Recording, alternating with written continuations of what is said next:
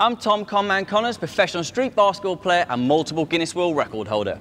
Follow me as I go around the world to meet the most exciting basketball players, high-flying dunkers, freestyle masters and street ball legends.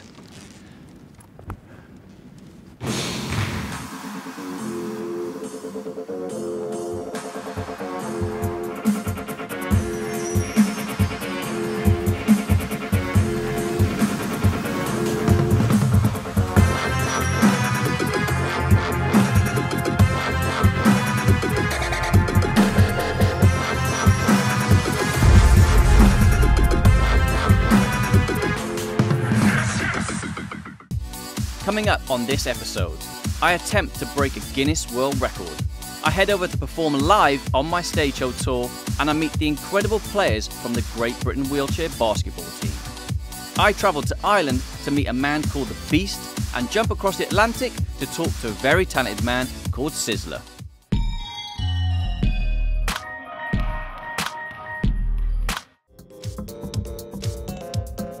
My home city of Cardiff, the capital of Wales.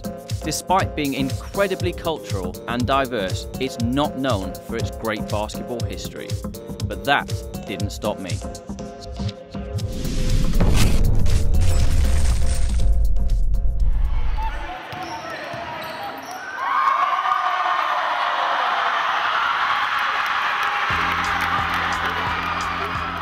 Streetball started on the street basketball courts of America where the, the style of the game is much more entertaining. You've got people doing more dunks, people doing tricks to get the crowd going. There's not a ref there, so you can get away with uh, some extra dribbles, um, some extra things that you probably wouldn't be able to do in a normal game. So it makes the game more exciting. So, for example, I can come down the basketball court, I can put the ball up my t-shirt, I can wrap around my t-shirt, I can bounce the ball off a defender's head, I can put it through defenders' legs. Everybody's trying to get their name out there, so it's much more uh, entertaining than, normal basketball. Um, and I was kind of hooked by that, you know, watching these amazing guys um, with all really cool nicknames, um, doing these crazy, crazy skills, and I was, I was, I was hooked, and that's how I got started.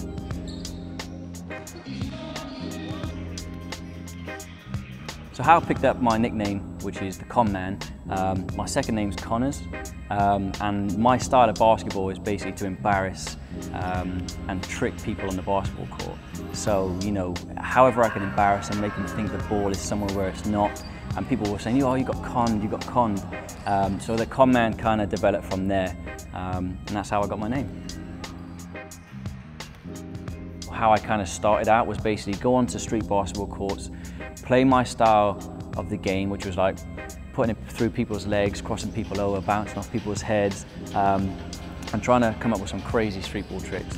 And then I started naming my tricks, like uh, I've got a, a, famous move called the Sino Con, and that's kind of like a big move of mine, um, where I, I, I, spin around, I put the ball down my shorts, and uh, I pull down the, the defender's shorts and have a bit of fun. So that's a really a really cool move. But I used to basically just get anybody to film for me. You know, can you just film? And, and I used to just play and try and capture these highlights um, to get my name out there.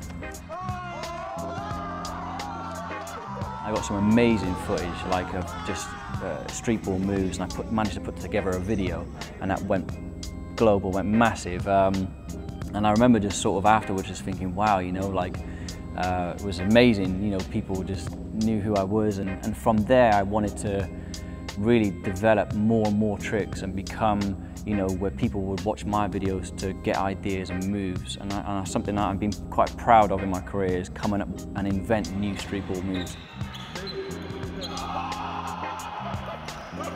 So there's a few proudest moments in my career. Um, the first one is the Guinness World Records, where I currently hold 12, um, doing a number of basketball tricks, skills and shooting. Um, if I was to pick one which was my favourite one, is shooting the basketball without looking um, over my head into the, into the basket um, behind me. Uh, and I hold the world record for the most amount um, made from the free throw line, halfway line, and the longest uh, distance. The second most proudest moment in my career is becoming a sporting champion, um, the face of UK basketball, working with the youth um, to get them excited into basketball, trying to get them to pick up a basketball. Uh, and I do many um, talks and, and, and, sort of demonstrations to try and get kids to pick up a basketball and play the game that I love. Um, you know, something that's close to my heart. And, and if I can inspire the youth to pick up a, a basketball, you know, with my tricks and skills and get them to want to play the game, I think that's an incredible thing to be part of.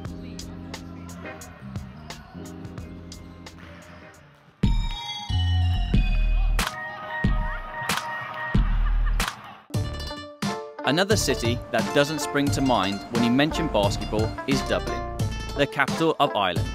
It has many similarities to Cardiff and has loads of must-see tourist spots and of course it is the home of Guinness. Pint of Guinness. This is my first pint of Guinness ever. Let's give it a go.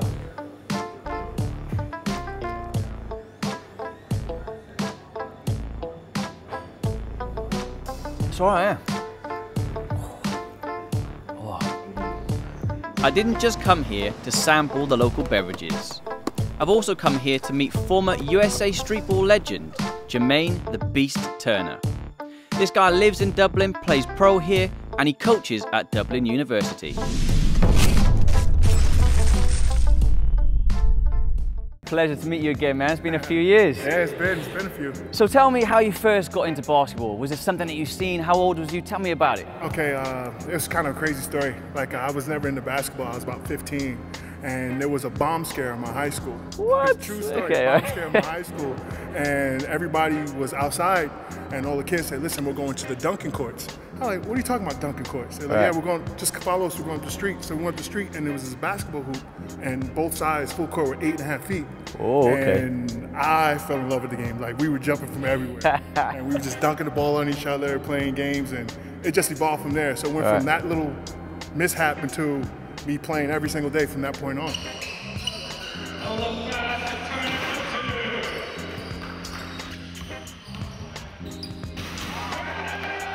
When I came to Europe, it really evolved my game completely. Like every, wow. like Americans kind of have this stigma of being, you know, oh, they think they know it all, they invented the game. Right, right. I'm gonna tell you right now, we don't. Our fundamentals kind of lacking at this point. So yeah. I came to Europe and I really expanded my game. So I say my style is kind of more the European style now, as mm. opposed to American style now. Wow. So what advice would you give for people or youngsters that want to start playing basketball? What sort of advice would you give to these youngsters? I'd say you have to practice every day. Like you, rain, sleet, or snow, you have to go out there and practice. If right. you put in the work, you, you reap the rewards. Like I started late, and I had people tell me all the time, you couldn't, you mm. can't, you couldn't, you can't, you couldn't, right, you can't. Right. You don't listen to them. You know, if you want it, you really, if it's in your heart, you go out there and you practice every single day. Right. It's just hard work and determination and not listening to anybody. Wow.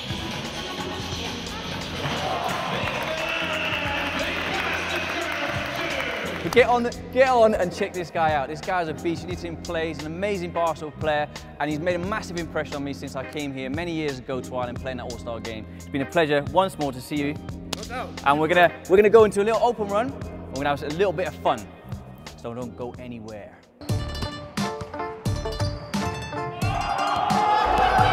It's a pleasure to be on the same court as the Beast.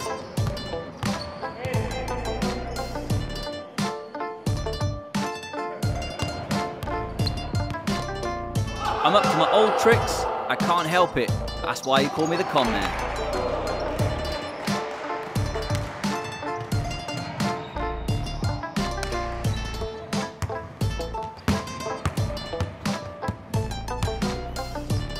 It's great to see a mix of all ages playing basketball. I've had loads of fun, the beast Jermaine Turner's had loads of fun, and it's been an honour to play on the court.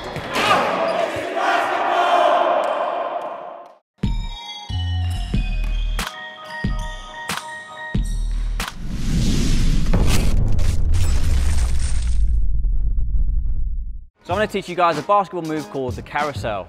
This is not easy, it's going to take some practice, and this is how you do it. So, basketball on your head, use your right arm and your left arm to keep the basketball on your head. If you're going to go into a circle,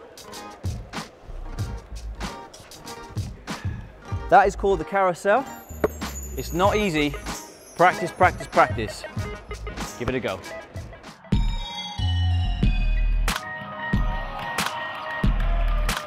So I'm here in the UK at Leicester. I'm at the Bodie Hodges Foundation raising lots of money for charity. The Bodie Hodges Foundation is a charitable organisation that provides help for families who have lost their children. Set up by parents of little Bodie Hodges who lost his own life at just 10 months old.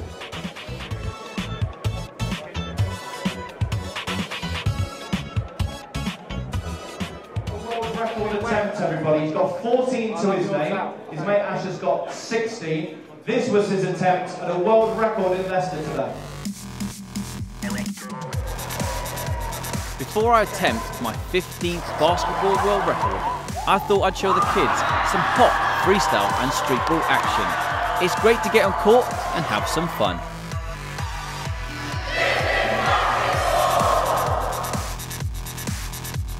So for this world record attempt, I've got 60 seconds to throw the basketball over my head without looking.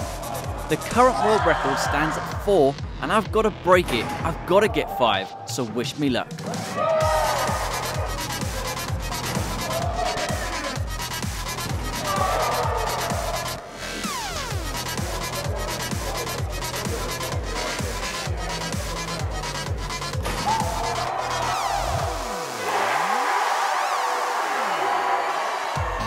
Feeling you get when you break a Guinness World Record is indescribable.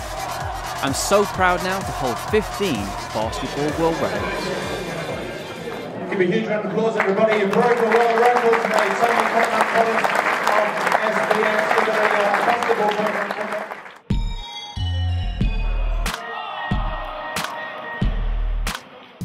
Coming up after the break, I meet Great Britain wheelchair basketball team who put me through my paces. I take you on tour with one of my stage shows, and I head to the Big Apple to meet the man they call Sizzler and take a trip to the most iconic streetball court in history. Welcome back to This is Basketball.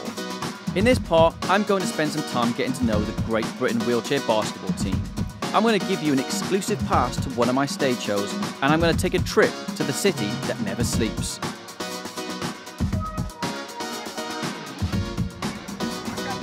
When I'm in London, I'm a tourist just like everybody else. I like to take in the sights and see the capital. But I've brought my own entertainment to the streets of London.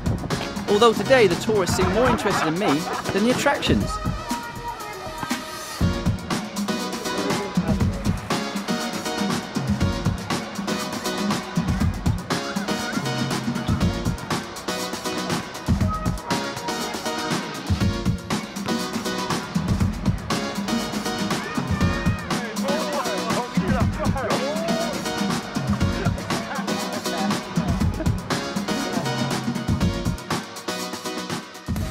Great Britain wheelchair basketball team was originally formed in 1974, and since then it's grown dramatically. The members of the current team have some crazy skills, and they're amazing to watch.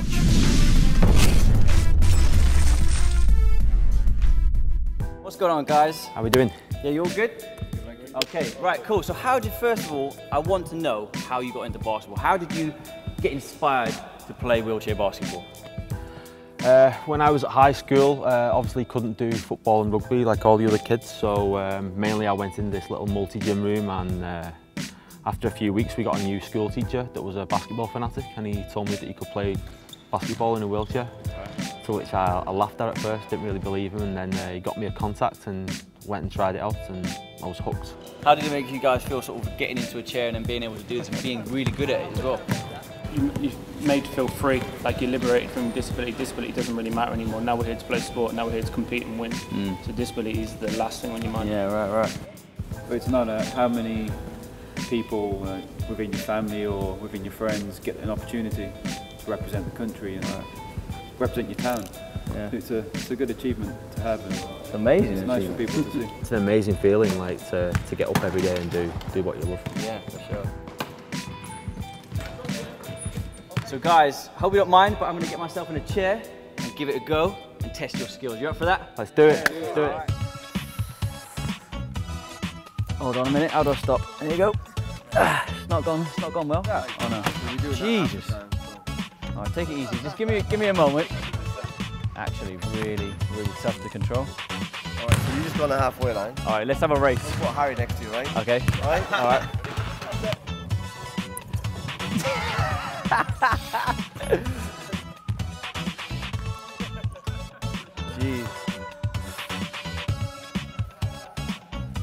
All right, I might be able to win now.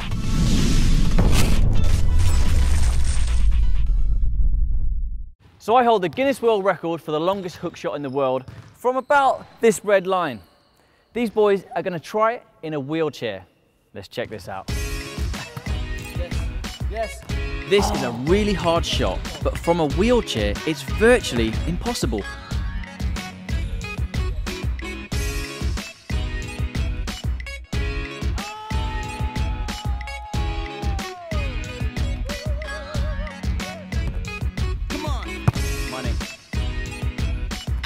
Is on.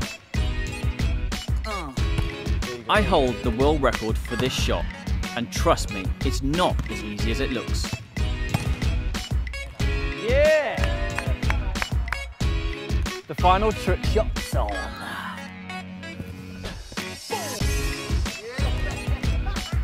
Got him with this one.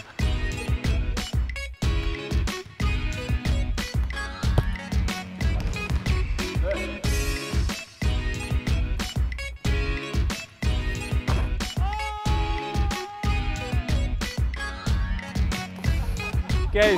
Oh, I can't beat him. Can't beat him.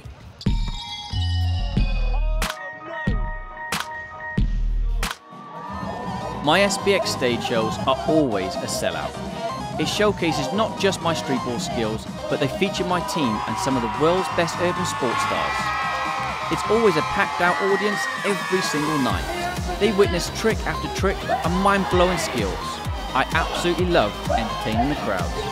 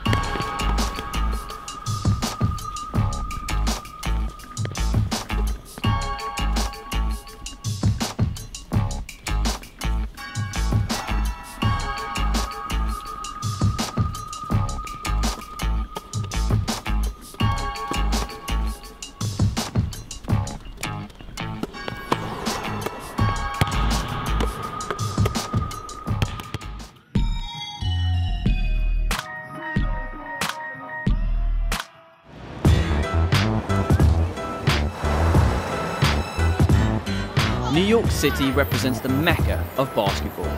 It's truly the city that never sleeps. It's always busy, which means I always have an audience.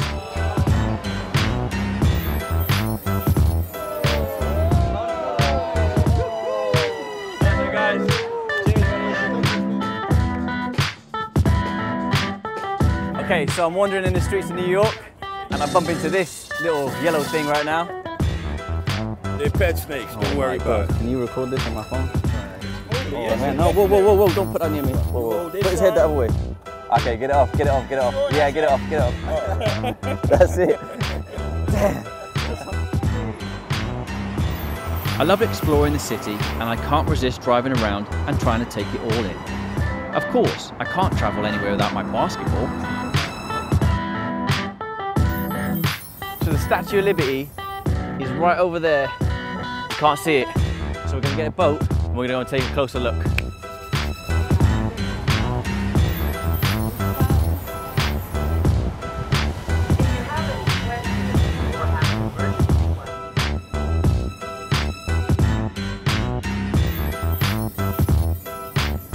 So I've not just come to New York to check out the Statue of Liberty and this amazing city.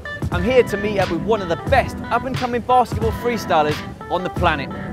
Let me introduce to you Sizzler.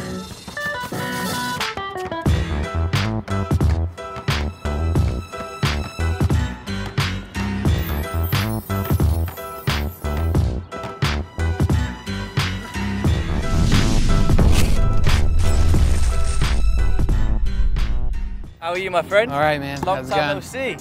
So tell me, when you first got into basketball, how did you start? Uh, so basically, uh, when the movie Space Jam came out, um, I was about eight years old. Um, I saw it at the cinema, and then uh, my dad built a little tiny basketball hoop. It was about two foot too short and too small to barely even fit a basketball in it. Um, but I would just go out there, shoot for hours and hours every day after school, sometimes before school. I started playing at my, my school team first, and then went to try out for them. Yeah. Went all the way through the club, so it was great. That's awesome. When did you sort of sort of shy away from the, the normal game of basketball and sort of bring in the freestyle tricks? So uh, I was I always loved ball handling, and uh, ball handling never really felt like I was training. It just felt like fun, basically. So I was always pretty good at you know just regular one ball dribbling, and did a little bit of spinning stuff just for fun. And then went to two, um, really to try and train and get better at basketball. I just basically thought, well, I can do two pretty well. I can do some good, some stuff with that. Um, looked at some people that do juggling type things. Thought, well, maybe I could kind of flip that and do it downwards. Right. Um, so really just wanted to push myself and keep trying new things. So thought, well, why not try try add another one? Um, I basically just love anything to do with basketball. When people talk to me about it, they, they think those two have to be separate, regular basketball and freestyle street ball. And really, I just feel like I love basketball and that's it. I don't care if it's spinning them, juggling them, dribbling them, teaching someone an offensive play, how to play man-to-man defense. I just love basketball no matter what, what kind it is, basically. I like that. That's enough talking. I want to see some action. Two basketballs, three basketballs. Take it away, Sizzler.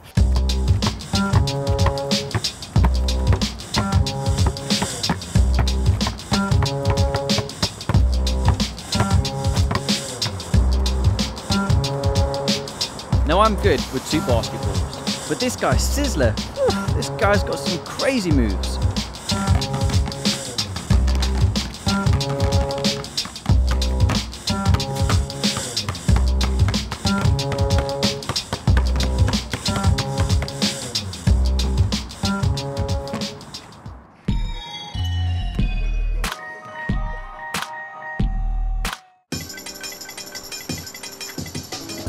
Come to New York without paying a visit to Rucker Park. This is the most iconic basketball court on the planet, and I'm here right now. It's an honour to stand on this basketball court knowing that some of the best in the world, the legends of the game, have played here. Not just from the NBA, not from the street ball courts, but everyone around the world comes to this court. I can only imagine some of the incredible games and street ball moves that's been pulled off on this court. I just need a moment to take it all in.